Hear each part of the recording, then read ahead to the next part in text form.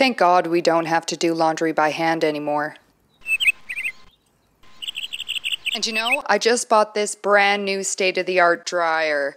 Quite a bit over my budget, but it saves me a lot of money on electricity.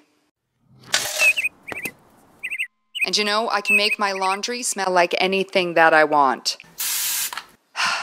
Fresh and natural. And another plus, it works extremely quiet. I can't hear anything. Hmm.